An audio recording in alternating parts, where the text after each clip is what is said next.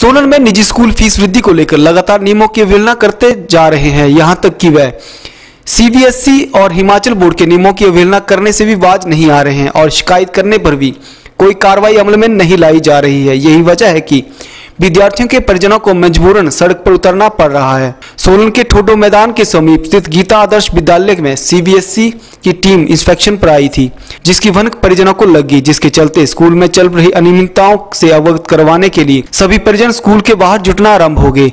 School प्रबंधन को जैसे ही इस बात की खबर लगी तो उन्होंने स्कूल के दोनों गेटों पर ताले जड़ दिए और किसी को भी स्कूल के अंदर आने नहीं दिया। इस बारे में रोष व्यक्त करते हुए परिजनों ने कहा कि वह सीबीएसई के अधिकारियों को ये जानकारी देने आई थी कि स्कूल प्रबंधन अपनी मनमानी कर रहा है और किसी भी तरह से बोर्ड के नियमों की पालना नहीं कर रहा है, लेकिन स्कूल प्रबंधन ने उन्हें अंदर आने नहीं दिया।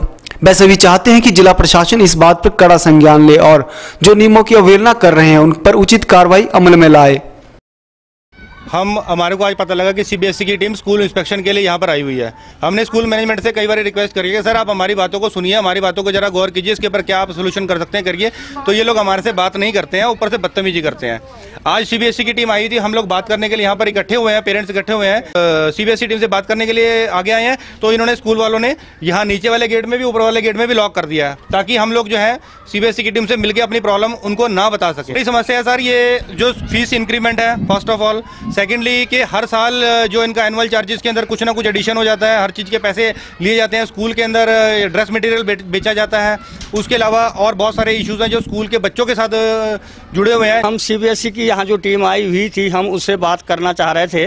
लेकिन गीता दर्श विद्यालय की जो मैनेजमेंट है, उन्होंने हमारे को स्कूल के अंदर नहीं जाने दिया और दोनों गेटों पर ताला लगा के और जो इनका स्टाफ था, वो कुछ इस तरह से पेश आया कि हमें अच्छा नहीं लगा, शायद उसको बदतमीजी भी कहा जा सकता है। और काफ़ी सारी प्रॉब्लम्स हैं जो सीबीएसई रूल्स को ये स्कूल फॉलो नहीं कर रहा।